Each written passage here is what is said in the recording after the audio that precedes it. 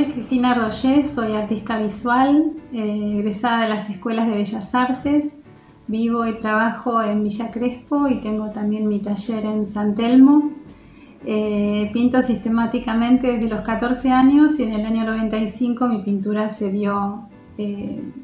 girada hacia la abstracción geométrica y el estudio del color.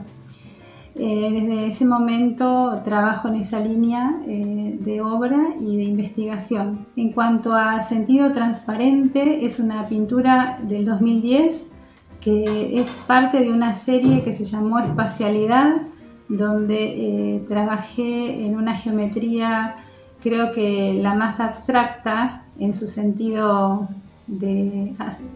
relación con los asuntos temáticos que tiene la geometría, creo que es el punto más abstracto donde eh, el asunto en sí eran los elementos que me interesaba trabajar. Es una composición, la de esta obra, eh, de cuadriláteros irregulares que están dentro de una trama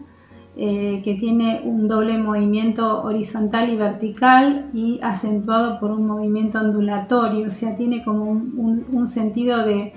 múltiples movimientos y eh, en la zona central tiene un, tratamiento del color eh, en general en una clave baja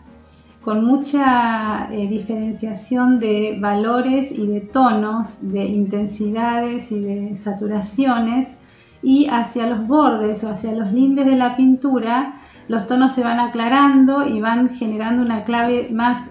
alta hasta llegar al borde de la pintura donde prácticamente dan esa idea de inmaterialidad o de pérdida de los lindes.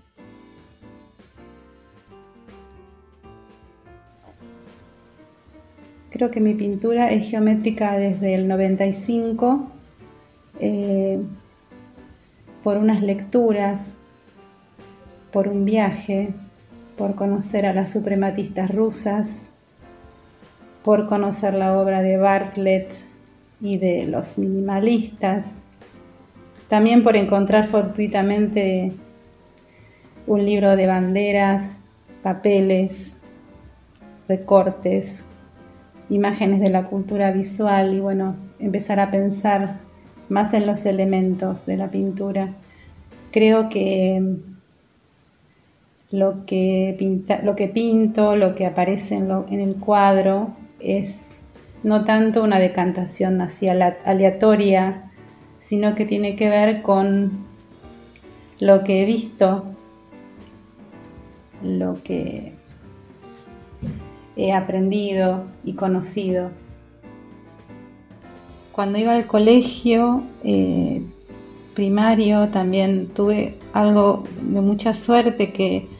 tenía un profesor de, cerámica del colegio, que era un colegio al que a mí no me gustaba ir para nada, porque era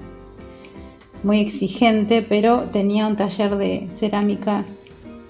que yo no quería irme de ese lugar y mi profesor era Adolfo Pérez Esquivel, y que un día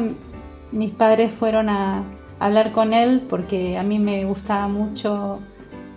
eh, hacer cerámica, dibujar y, bueno, y mis padres le preguntaron qué, podía comprar y qué podían comprar y, él les dio un consejo interesante y así mis, viejos se preocuparon por, por comprarme materiales para trabajar. Me interesa mucho eh,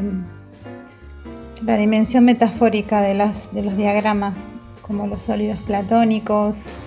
las cintas de Moebius. También la metáfora de la materialidad con que, se con que trabaje, como que entre la materialidad, o sea, el procedimiento y,